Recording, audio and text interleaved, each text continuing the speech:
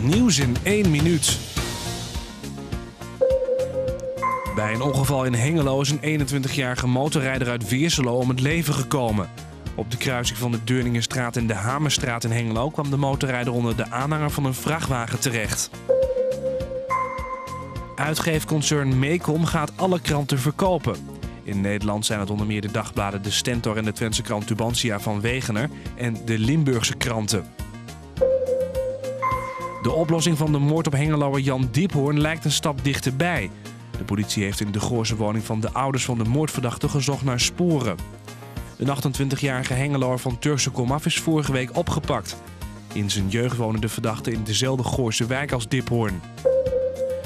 Het bestuur van muziekschool De Sleutel in Losser gaat het faillissement aanvragen. Daardoor dreigen bijna 30 mensen hun baan te verliezen. Ook is het voor honderden muziekliefhebbers niet meer mogelijk om lessen te volgen. De muziekschool denkt dat de gemeente bewust op een bankroet aanstuurt.